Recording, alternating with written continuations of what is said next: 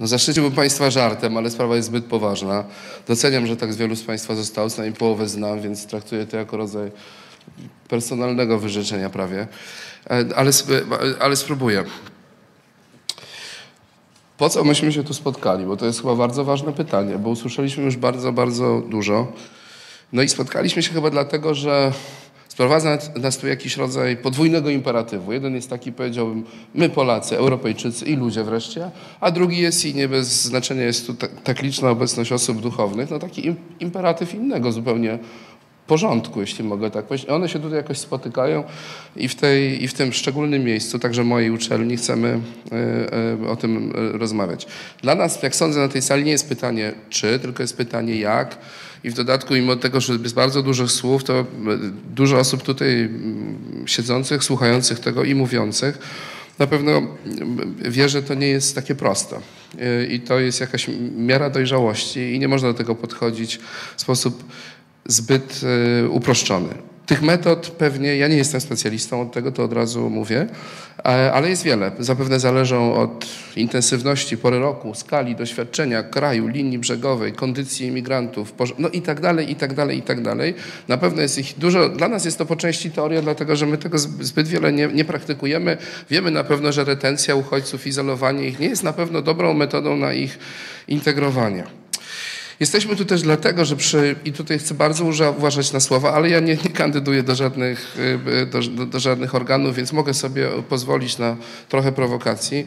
Przy czymś w rodzaju zaniechania ze strony, to jest najłagodniejsze słowo, ze strony państwa, jest jednak grupa instytucji, ludzi, parafii, one tutaj są, a jest nasz więcej, miejcie państwo świadomość tego, ale tyle udało się zgromadzić, które z różnych powodów i z powodu ludzkiej solidarności i z powodu, jakby to powiedzieć, Nieznosno, nieznośności wstydu, tak bym powiedział, bo dla wielu z nas, którzy się poruszają i po Polsce, i po Europie, jest bardzo trudne do uniesienia. To, to ten, ten, rodzaj takiego dziwnego zderzenia Polski jako ikony Solidarności z kimś, kto wyrasta na jego odwrotność, jeśli mogę to powiedzieć, antysolidarność, egoizm, jak chcecie. No i wreszcie dla niektórych prawdopodobnie troska o zbawienie zgoła, to znaczy nie można tak po prostu patrzeć. I te elementy są bardzo różne. Od tego przed chwilą dostałem kolejny odcinek opowieści tego marszu cywilnego do Aleppo. Jak dziecięca krucjata, idą tam po prostu. Ale ludzie będą to bardzo pamiętać. Tego, co robią parafie, tego, co robią organizacje i wreszcie samorządy, bo jest taka, to też jest pewien kontekst polityczny. W Polsce i nie tylko w Polsce samorządy zdobywają się na pewną suwerenność, jeśli mogę tak powiedzieć, w stosunku do różnego rodzaju, mają swoją politykę zagraniczną, jeśli chcecie. To dotyczy Lublina oczywiście, tego, co ksiądz Mietek robi od wielu, wielu lat, ale tego, co robi Warszawa, tego, co robi Gdańsk, tego, co robi Wrocław. I ta lista może być dłuższa. I samorządy starają się mieć, starają się mieć jakiś własny pogląd w tej sprawie. I ta nasza recepta, o której ja będę mówił, jest dosyć banalna. To znaczy, że z tego rozproszenia, skoro nie jest jak tak dużo, jeśli złożymy to razem i jakoś to kliknie, to jednak uruchomimy takie domino, które mówi, coś z tego może razem wyjść. Tutaj ksiądz kardynał, cieszę się, że on to powiedział, bo ja sam chciałem tą pułapkę zostawić. Y, diecezja warszawska rzuci ten challenge, jak to mówi młodzież, to wyzwanie i 22 czerwca my się spotkamy z tutaj mniej lub bardziej demokratycznie wyłonionym grupą chyba 19 czy 20 parafii i burmistrzów i organizacji, żeby zastanowić się, czy ta diecezja przynajmniej w tej skali potrafi podążyć za skądinąd bardzo dobrze znanym wskazaniem papieskim w sprawie tego, że no jeśli mamy 11 tysięcy parafii, to rozumiecie, to chyba powinno się udać. Istota tego pomysłu, który nazwaliśmy wspólnoty schronienia, licencja poetyka, i kiedyś myśleliśmy, że najpierw dojdzie do tego ważnego spotkania, o którym mówił kardynał Nycz, a ono teraz zdarzy się dopiero za 2-3 tygodnie. Ale jest bardzo prosta. Ta wspólnota polega na tym, że po pierwsze chodzi o pomoc zdecentralizowaną, w małej skali, gniazdową, jeśli mogę tak powiedzieć, w której swoją rolę do odegrania mają parafie, samorząd, bo to on będzie dźwigał to, lokalne organizacje, szkoły, przedsiębiorcy, no i na końcu, jeśli mogę tak powiedzieć, a to być może najważniejsze, rodzinę. To znaczy wszystkie te instytucje nie zwalniają nas jako ludzi i obywateli od tego, żebyśmy się, żebyśmy się mogli spotkać z tymi ludźmi przy kuchennym stole. Znaczy wszystko, co ja wiem o integracji, to wiem, że wszystkie one zawodzą, dopóki nie jest tak, że ktoś ma do kogoś telefon po prostu. I ja znam tą osobę. Tą osobę, która występowała tutaj, tą z rodziny czeczeńskiej i tak dalej. To też ja się y, z trudem do tego dobierałem, musiałem się tego nauczyć i tak dalej, ale to nie jest coś, co nas przekracza.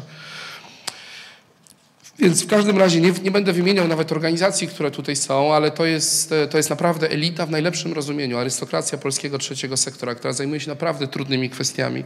Stowarzyszenie Interwencji Prawnej, Refugee.pl, nie, nie wszystkich was widzę, Polskie Forum Migracyjne, Jezuickie Centrum w Akcji, widzę. E, katolicki, Klub Inteligencji Katolickiej, Sanedigi oczywiście, Ocalenie, Chlebem i Solą, PACH, Fundacja Edukacji dla Demokracji, Helsinki i tak dalej. Jeśli kogoś nie wymieniłem, może wstać i teraz powiedzieć, że zapomniałem o nim. Nie jest to wielka grupa, choćby to, że ja ją mogę spamiętać, ale tym bardziej wymaga troskliwej opieki i wsparcia w tym trudnym momencie, bo bez nich będziemy bezradni. Zostaną nam dobre intencje być może, ale kompetencje zerowe, a wiele osób mówiło tutaj, że akurat pomaganie uchodźcom to jest taka rzecz, gdzie zarządzanie oczekiwaniami to jest jedna z trudniejszych rzeczy. Chcę już zakończyć. Chcę zakończyć tym właśnie, od czego też troszkę takim wątkiem poważniejszym, nie chcę być religijnym w jakimś sensie. Pomyślę sobie tak, że, że my bardzo dużo w tej chwili tracimy. Bardzo dużo tracimy. Wiele osób mówiło tutaj, że jakoś przetrwonimy ten majątek solidarności tego naszego e, mitu. Coś niedobrego się dzieje, naprawdę. I my nie możemy sobie opowiadania o dwóch milionach Ukraińców. Na Boga, oni nam pomagają, a nie my im. Co będzie, jak ich nie będzie? Ludzie. Ile systemów się wywróci w tym kraju? Nie opowiadajcie takich bzdur. Była, więc my mamy coś do zrobienia. Rząd, i o tym było powiedziane, ja też to powiem, rząd z różnych powodów mrozi i bierze głodem bardzo nieliczną grupę organizacji pozarządowych, które znają się na kwestiach uchodźczych i nie robią tego na złość temu rządowi. Robią to od wielu, wielu lat. To, że rząd nie jest w stanie dać swoich pieniędzy, trudno. To, że rząd nie jest w stanie rozdystrybuować pieniędzy, które pochodzą z kieszeni europejskiego podatnika, wydaje mi się trochę skomplikowane. Robi to od 18 miesięcy.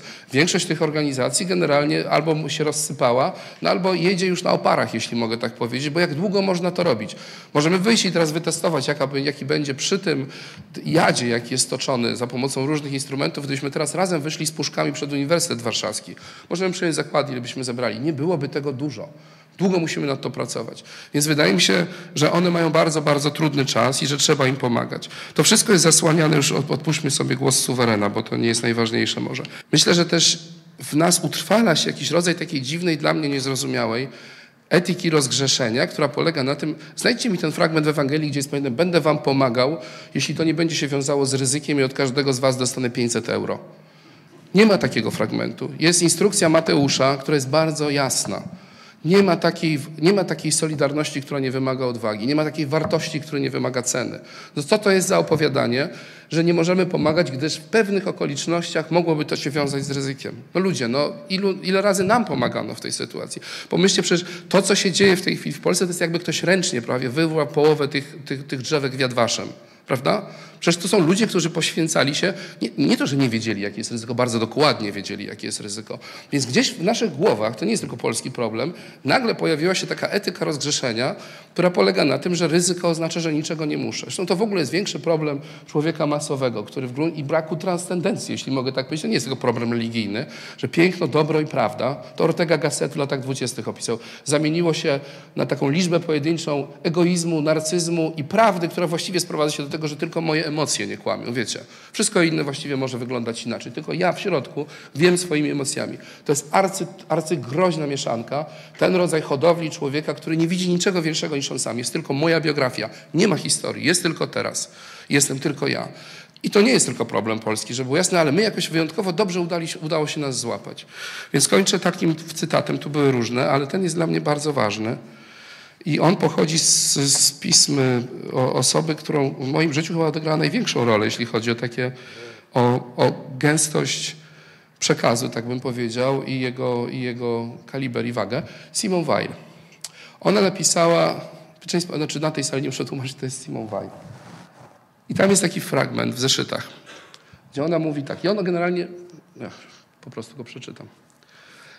Bóg nie jest wszechmogący, skoro jest stwórcą. Stwarzanie jest zrzekaniem się władzy, abdykacją, ale jest wszechmocny w tym sensie, że zrzeka się tej władzy z własnej woli, zna skutki tego aktu i pragnie ich. Tu na drodze leży jakiś nędzarz, na pół martwy z głodu. Bóg otacza go swym miłosierdziem, ale nie może mu zesłać chleba. Ale obok jestem ja i na całe szczęście nie jestem Bogiem. Mogę mu dać kawałek chleba. To moja jedyna wyższość nad Bogiem. No, to jest raczej oczywiste przesłanie. Nie wiem, do kogo teraz y, mam powiedzieć. Ja powiedziałbym tak, to jest prawie polityczne zawołanie. Otwórzcie, damy radę. Dziękuję bardzo.